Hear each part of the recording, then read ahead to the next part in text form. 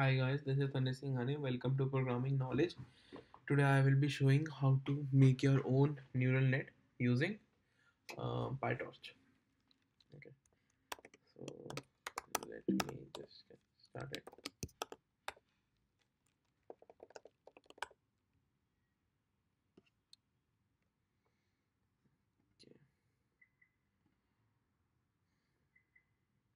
So okay, so let's begin. So I'll just import some of the libraries.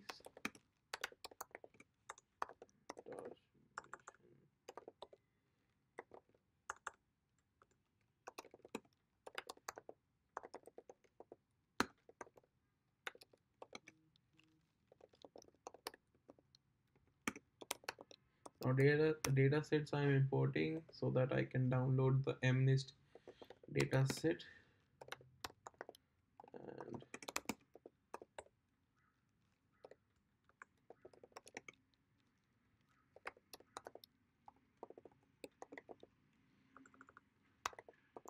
functional functional as f. Okay.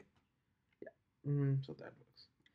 Okay so let me download the training dataset from data datasets dot mnist. Okay so i'll just give the train equals to true. This is the training dataset download equals to true. Okay so transform. I'll just specify a transform mm, dot compose okay so this will be your transform dot to tensor. Okay. Uh, okay now what will that do is download your mnist dataset. Okay this is a very popular dataset. You can google the uh, google it also. Okay so it will download the training part. Okay and the uh, with the with the labels and all.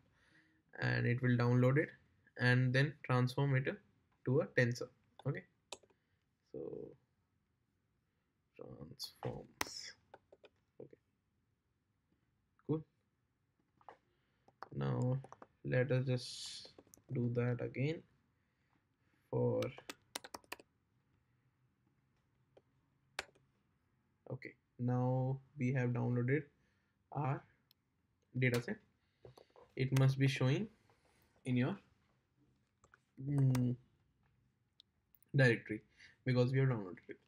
So now let's just make it load our dataset data loader. Now what does this do is packs our data into batches so I will specify the batch size. Uh, let's say 10 but if you're working on a big systems you can obviously use 64 or 128 as it fits. Okay. Now we'll do that for test. Test. Batch size 10 okay that works. Now let's make our neural net okay? Class net and then dot module.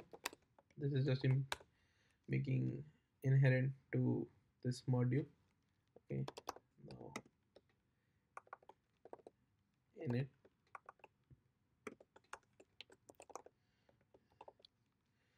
Now super dot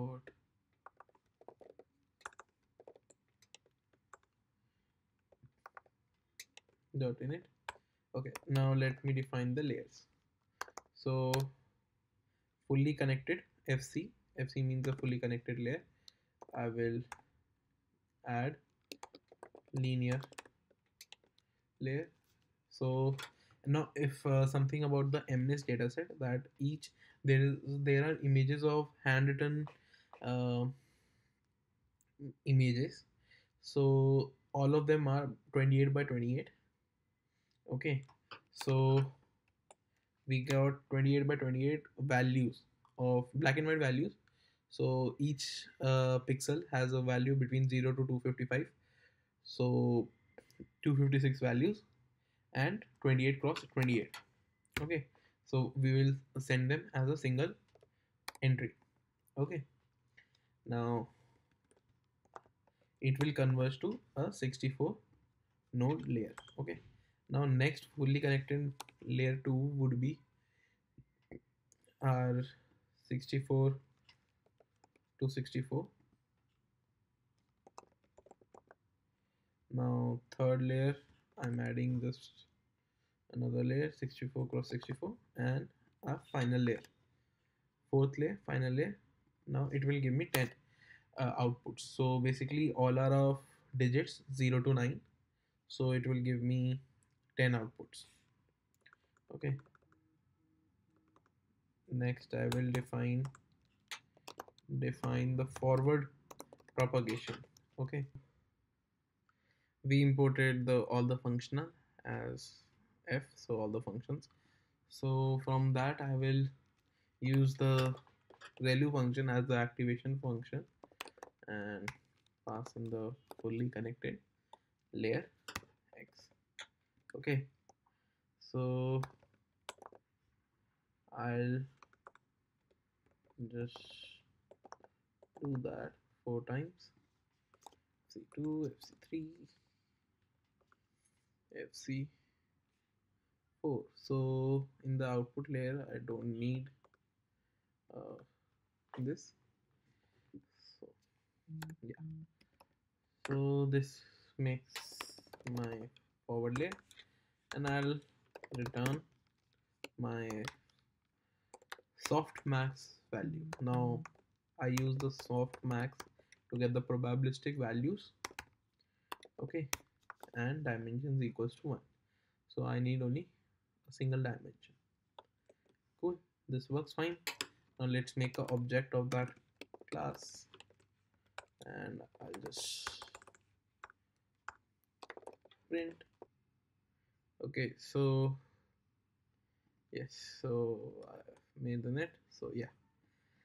So I get 784 input features out 64 then two layers 64 by 64 and then 64 to 10 outputs okay?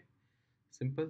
Now let's import torch dot optim as optimizer and define the loss function. Now uh, I'll use the cross entropy loss. Okay you can use any any functions as you like. So yeah here it is. Yeah.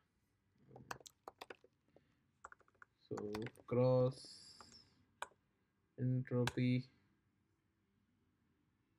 convolution.